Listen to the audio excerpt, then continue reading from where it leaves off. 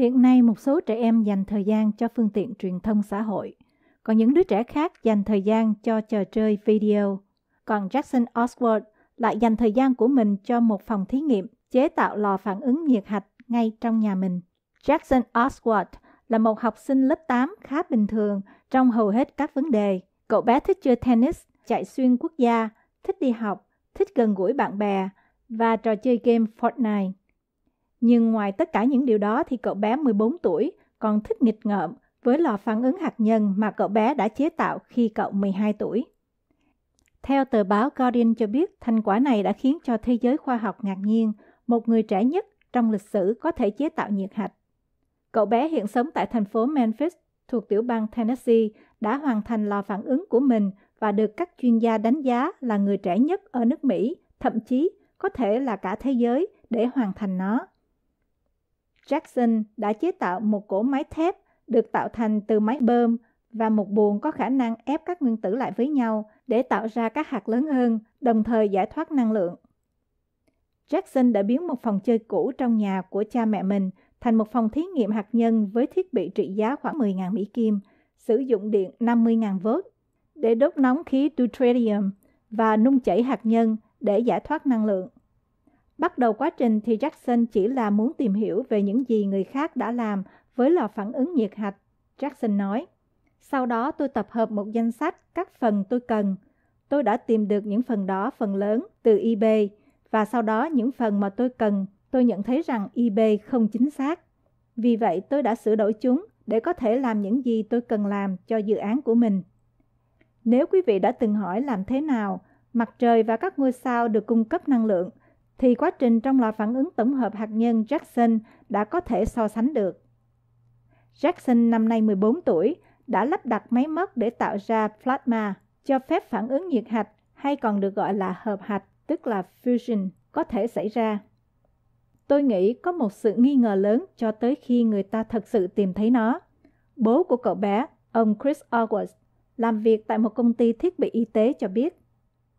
Đối với trẻ em mà nói, thành lập một lò phản ứng nhiệt hạch chắc chắn không thể an toàn, như chơi các mô hình phi thuyền lắp ghép.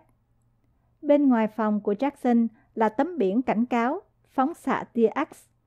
Trong phòng còn có một tấm biển thứ hai, cũng nghiêm túc không kém. Chú ý, thiết bị này phát ra phóng xạ khi được tiếp năng lượng. Sơ lược về phản ứng nhiệt hạch.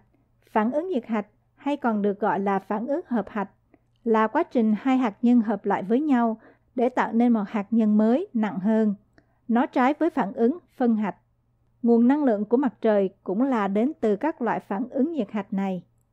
Phản ứng nhiệt hạch hứa hẹn một tương lai hạt nhân sạch và an toàn hơn phản ứng phân hạch đang được dùng hiện nay bởi mật độ năng lượng rất cao hơn hàng chục lần mật độ năng lượng của nhiên liệu phân hạch, hoàn toàn không gây ra ô nhiễm môi trường nếu nhiên liệu là các đồng vị hydro như deuterium, treaty thì các sản phẩm thải là heli, khí hiếm hoàn toàn không gây bất kỳ ảnh hưởng nào đến môi trường.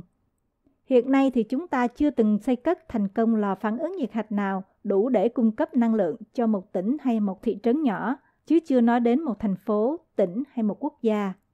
Hiện chỉ có lò phản ứng ITER đang xây ở Pháp có thể hứa hẹn làm được điều này. Ở Pháp thì lò phản ứng nhiệt hạch lớn nhất thế giới đang được xây cất. Tên tiếng Anh của nó là International Therm.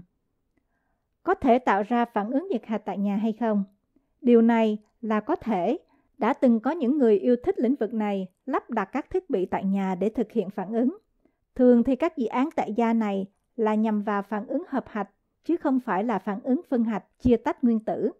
Bởi phân hạch đòi hỏi các chất có hạt rất nặng và được kiểm soát khắc khe, ví dụ như ultrarium. Hợp hạch thường chỉ dùng tới các đồng vị rất nhẹ của hydro như deuterium, do đó khá dễ tìm thấy. Khi hai nguyên tử nhẹ kết hợp thì chúng sẽ giải thoát năng lượng. Đạt được phản ứng hợp hạch tại nhà không có nghĩa là cậu bé Jackson hay là những người đam mê hạt nhân khác đã xây cất lò phản ứng hạt nhân có thể tạo ra nhiều năng lượng.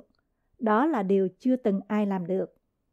Các phản ứng tại gia tuy có phát ra một chút phóng xạ, nhưng quá ít để có thể gây hại nghiêm trọng cho người không ở quá gần phạm vi của phản ứng.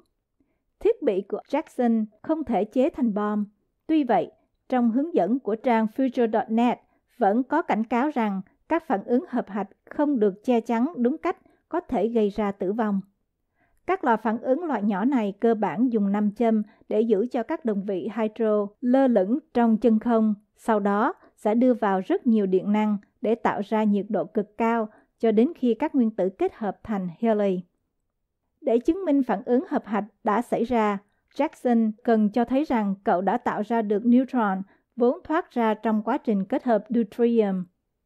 Các nhà khoa học vẫn có thể nghi ngờ câu chuyện này cho tới khi kết quả của Jackson được tổ chức chính thức, xác minh hoặc công bố trên các tạp chí hàng lâm.